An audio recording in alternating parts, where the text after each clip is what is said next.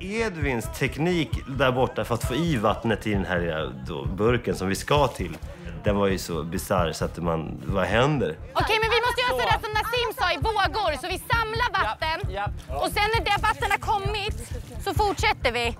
Så Nassim, kan du bara hjälpa till? Det är definitivt en pöl under mig. Men även i princip alla andra. Och det måste vara en ännu större pöl där de håller på där borta. Och sen lyfter du på högersidan nu så att vattnet åker till vänster. Lyft på höger! Vid ett tillfälle så blev jag liksom irriterad.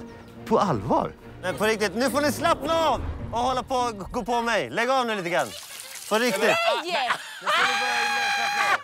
Vad gör du? Ola, för fan! Vad jag? Och sen lyfter du till Vad håller du på med? Inte däråt dig! Jävla nöt!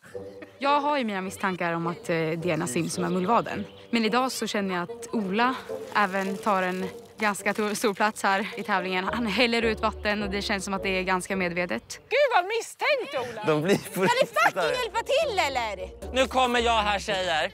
Det var ju många misstänksamma grejer som hände under tävlingen kan jag säga. Vilken jävla sjö där i mitten. Poolen under Nassim är ju så stor att han kan öppna alltså ett badhus, äventyrsbad, spa, kalla och varma källor, you name it. Gud, alltså what happened? Du stod, nej, du stod, ju där, du stod ju närmre.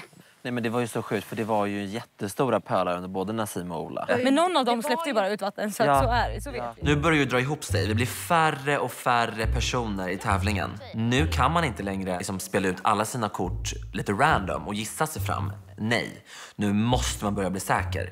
Ska jag satsa alla mina kort på Nassim eller ska jag våga dra in Ola också i ekvationen? Jag vet inte. Det var väldigt roligt idag. Ja, grejen Att, är för det blev så tydligt att det är liksom... Ja, nu börjar jag kunna garva åt här. ja, ja. att förlora pengar är också en vinst. Ja, verkligen. På, på grund av att vi ska fungera som grupp. Fast vi fungerar ju så dåligt som grupp. Ja, det här är ju en, en fråga som håller mig vaken på nätterna. Vem är mullvaden? Jag tycker det är ett öppet... Jag vet inte. Grejen är den att alla skulle kunna vara mullvaden. Och framför allt eh, Klara, eftersom hon också gärna vill ta över och vara någon boss i varje tävling. Vi har ju haft två tävlingar där eh, Klara och Ellen har varit ganska eh, starka verbalt. Ja. Bestämt hur det ska gå till. Båda de tävlingarna har ju gått dåligt.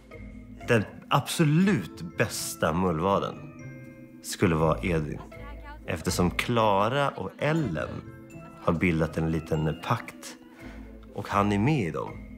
Det hade varit genialt ifall det var han. Alltså, jag vet inte hur man ska tänka här. Nej. Nej, jag tror vi ska tänka individuellt fast Gud vad svårt. Men vi måste, alltså, snart måste ju vi tre också börja tänka individuellt. Nej, Ja, jo. Ja, men inte soon. nu. Nej men, Vi har fem till att ta ut.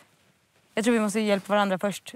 men ska vi liksom... Några tävlingar till. Annars kommer det vara helt kört också. Alltså vi är ju varandras största rivaler just nu. Ja. Nej, det är vi inte. Jo, det är ju visst så. Vet du vem jag på Nej. riktigt tror är Ja. mullvad? Vem? Ellen Bergström.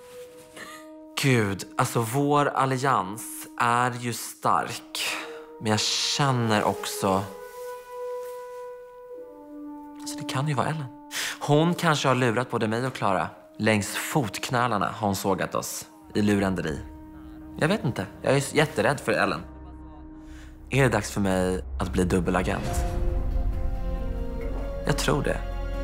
Tyckte ni om det här klippet så prenumerera på Discoverys YouTube-kanal och vill ni se resten av det här avsnittet och alla andra avsnitt som finns ser av Mullvaden, gå in på Discovery Plus och se det.